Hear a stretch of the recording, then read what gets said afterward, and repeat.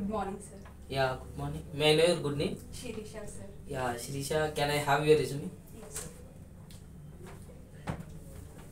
Yeah, uh, Shirisha, before moving to the technical, so quickly introduce yourself. Okay, sir.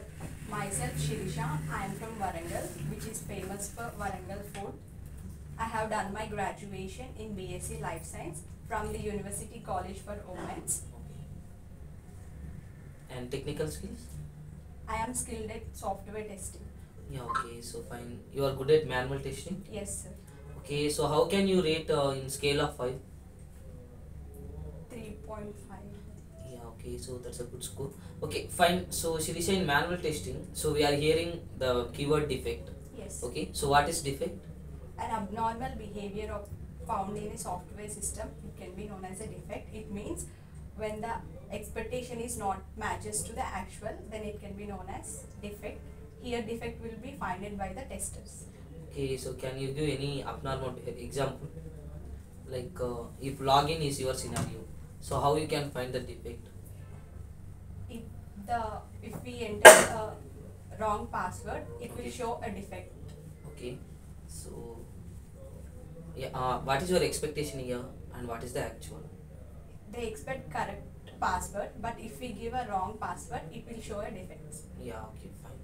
And so we have some bug statuses in bug life cycle. yeah sir. Okay, so while we are fixing the bug, okay, can you name the status what the bug was follow entire bug life cycle?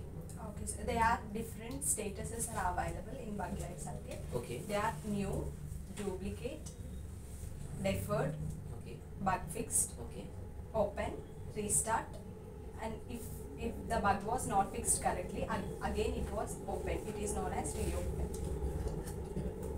yeah, okay, fine. So have you ever about the SDLC concept? Yes, sir. Can you explain? Yes. SDLC stands for Software Development Life Cycle. It is a systematic way that every IT organization will follow to get a quality software and deliver to the customer. Yeah, okay. Here we have seven phases, sir. In SDLC we have seven phases. They are software requirement and gathering, ana- software analysis and planning, software design, software coding, software deployment, software maintenance, You escaped the testing. software testing. Yeah, okay, fine. And so have you have idea about the bug leakage and bug release? Yes, sir. Okay, what's the difference?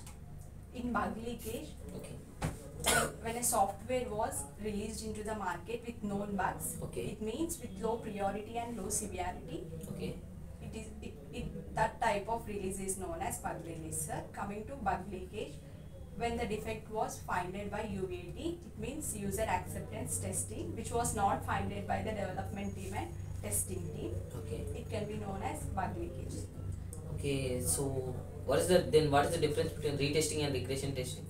Retesting means after fixing the bug when again testing testing different different times it can again test testing again and again is known as retesting sir coming to regression testing after modification when the modified module is affecting to the existing one if we check the type of testing is known as re- regression testing. Yeah, okay. So then what is ad hoc testing?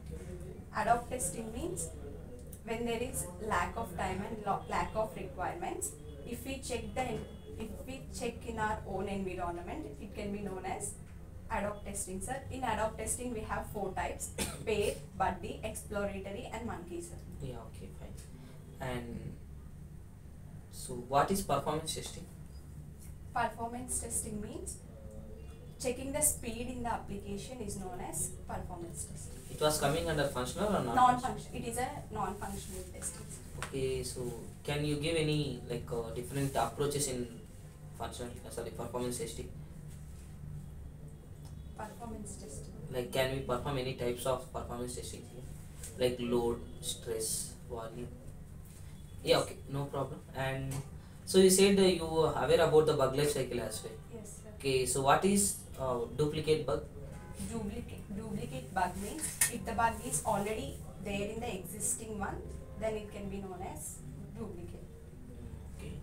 So what are the test design techniques available? there are first de- test design techniques means check Okay, using to prepare using to data. prepare the test data and test cases. Sir, there are Okay. four types of test design techniques: Okay. BVA, ECP, ST, DMT, and E- EG. So you said that for. Okay, what is the Five. abbreviation of BVA? Boundary value analysis, Okay. is equivalent class participation, Okay. Decision error decision making table, error guessing, state transition. uh, state transition. Okay, so fine. Uh, you said that using this design technique is we can prepare the Test test cases cases. Okay, fine. Uh, in manual testing, we have a one topic like uh, test scenarios and test Test cases. cases. So, what is the difference between test scenario and what is the different test case? Test cases means what to test in the application is known as test cases. Sir. Coming to test scenarios, how to check the test cases is known as test. Okay, how to test? Okay, can you give any example?